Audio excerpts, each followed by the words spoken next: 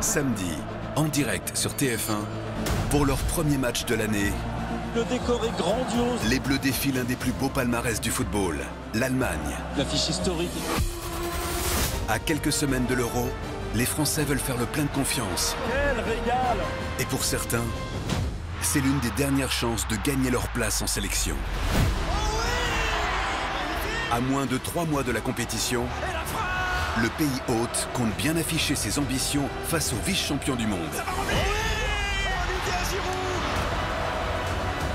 France-Allemagne, samedi à 20h50 en direct sur TF1 et en streaming sur TF1+. TF1, diffuseur officiel de l'équipe de France.